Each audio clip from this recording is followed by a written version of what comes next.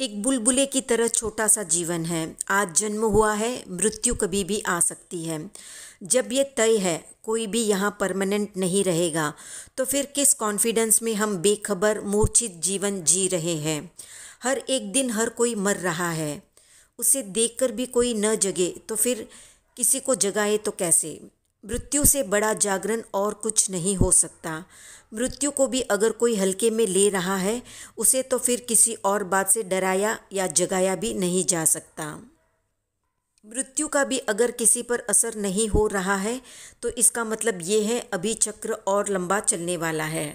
हमें ये मानकर और हजम करके चलना होगा कि हम एक बहुत ही आम मनुष्य है, इसलिए हमें कोई प्रतिबोध देने नहीं आएगा कि समय जा रहा है, समय बीत रहा है, वापस लौट कर नहीं आएगा।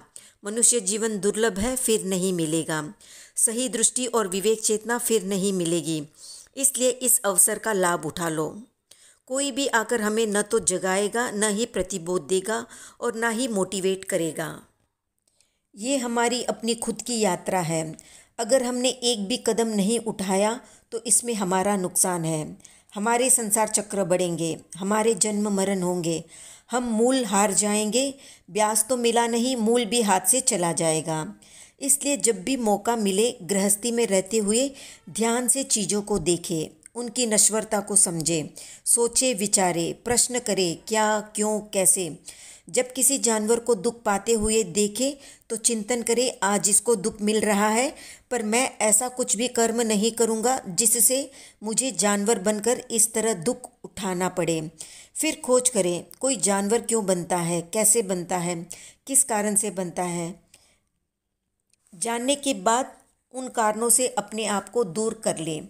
इसी तरह किसी के हाथ नहीं, किसी के पैर नहीं, किसी के आँख तो किसी के कान तो किसी के पास जबान नहीं।